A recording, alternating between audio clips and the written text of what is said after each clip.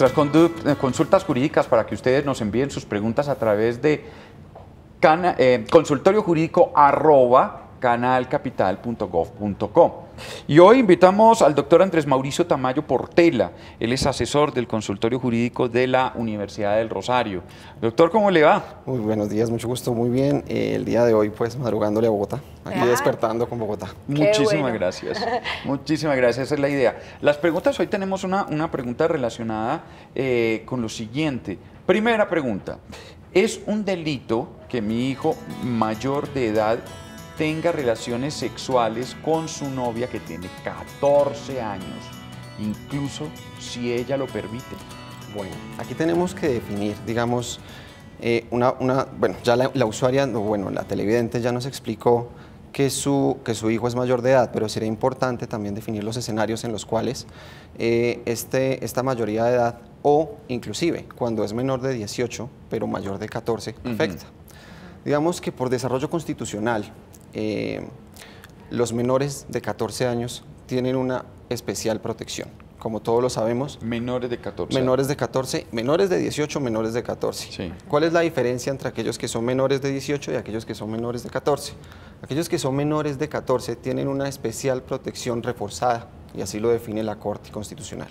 ¿Qué quiere decir esta especial protección reforzada? Que cuando ellos hablan del tema de consentimiento, cuando ellos dicen sí, es no siempre. ¿Pero 14 cumplidos o 13 y...? 14 cumplidos, o sea, esto es hasta los 15. Para ¿Y 11 meses? Entendido, en, el, estricto sentido es 15, o sea, 15 menos un día. ¿Pero cómo es eso? Cuando ellos dicen que sí, es, que no.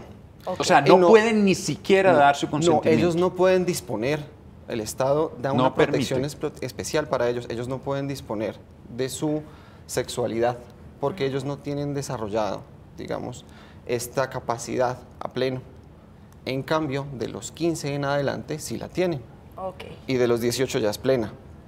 Y esto no, es, esto no es ajeno solamente al derecho penal, esto también se extiende a materias como el derecho civil. Pero ¿cuál es la diferencia entre un menor entonces, en ese caso, de 16 años y un, mayor de edad? La diferencia sería el régimen que le aplica.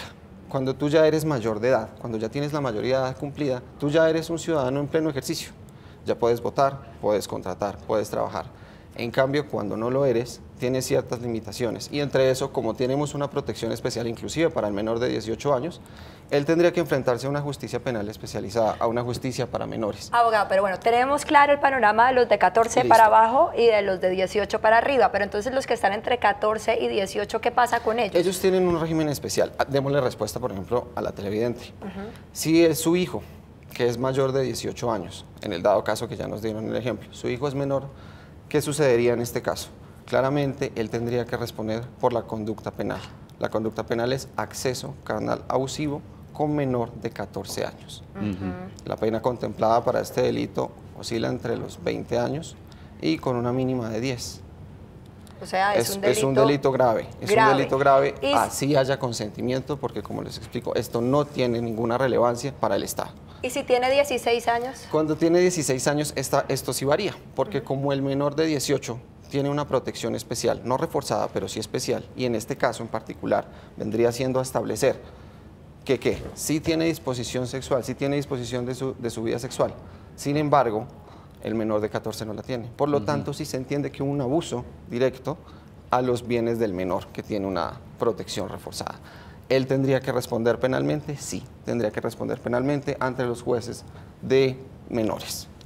Ahora, la segunda pregunta, Isa, es tan dolorosa, no sé si usted es muy dolorosa. Ay, ese es un tema muy difícil y lastimoso. Tan igual, tan dolorosa como la primera, pero yo no sé, a mí la segunda me impactó más. Sí, la segunda es bastante impactante y es la siguiente. Si mi hijo de 20 años me confesó que hace 10 años su padrastro lo tocaba de manera abusiva, ¿es muy tarde para denunciarlo? Es decir, eso significa que el niño tenía 10 años cuando su padrastro lo tocaba de manera abusiva.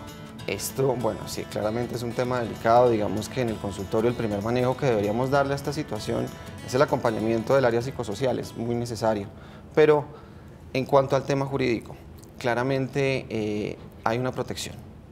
Hay una protección porque el delito es de alto impacto. Estos delitos de contra menores son delitos de alto impacto. Es decir, ¿no prescriben? El delito prescribe, claramente. El delito prescribe la norma general. ¿Cuánto tiempo? Digamos, la regla general en el derecho penal es que los delitos prescriben a una máxima de la pena impuesta. O sea, en este caso, los delitos sexuales contra menores son 20 años. Sin embargo, la norma Prescriben general- a los 20 años. A los 20 años de sucedido Es el decir, hecho. sucedió un hecho de abuso sexual con un menor de edad. Sí. A los 10 años prescribiría cuando el muchacho o la muchacha tenga 30 años. prescribiría cuando la conducta sucedió, digamos, por regla general. Vamos a hacer el análisis completo. La regla general es, sucedió el hecho. Si el hecho es continuo, hasta que el hecho se detenga. ¿Sí? No es la primera vez y ahí Ya. empieza a contar, sino hasta que este hecho se detenga. Cuando el hecho se detiene, empiezan a contar 20 años para que nuestra víctima establezca o por lo menos publique esta situación. ¿Qué estaba pasando en el 2006? La gente, pues los menores claramente estaban temerosos porque vivían con el agresor y el agresor los mantenía en silencio y ellos no llegaban a tiempo a la justicia y la justicia solamente tenía que decir, qué pena por seguridad jurídica, nosotros no podemos iniciar esta investigación. El Congreso advierte esta situación, que es casi el 80% de la gente que acude a la justicia y no tiene una respuesta efectiva, que qué sucede? Hacen una modificación a la ley.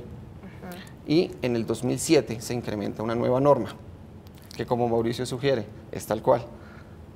Pasa el hecho, pero como el menor no tiene disposición ni conocimiento de lo que le estaba sucediendo, sino hasta que él ya tiene su completa Conciencia capacidad. o lo acepta o es Solo capaz de aceptarlo, de sí, reconocerlo. Identifica que es un delito. Exacto, cuando él es capaz de identificar este tipo de delitos, que lo que le estaba sucediendo no era legal, en ese momento la ley le da la capacidad de tener una prescripción de 20 años desde, la, desde cumplida su mayoría de edad. ¿Qué quiere decir esto?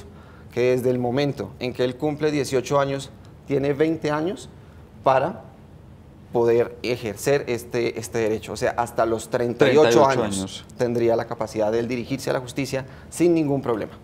Puede acudir a la fiscalía, puede acudir a cualquier tipo de ayuda que esta, digamos que obviamente Sí. le va a generar Bueno. un daño, Pues eh, Andrés Mauricio Tamayo Portela, muchísimas gracias. con el mayor de los gustos. Tema duro, difícil, pero Es para eso es este consultorio jurídico. Además, para que ustedes nos envíen sus preguntas a través de consultorio jurídico arroba canalcapital.gov.co. Muchas gracias. Con el mayor de los A gustos. usted y a la gente de la Universidad del Rosario. Con el mayor de los gustos.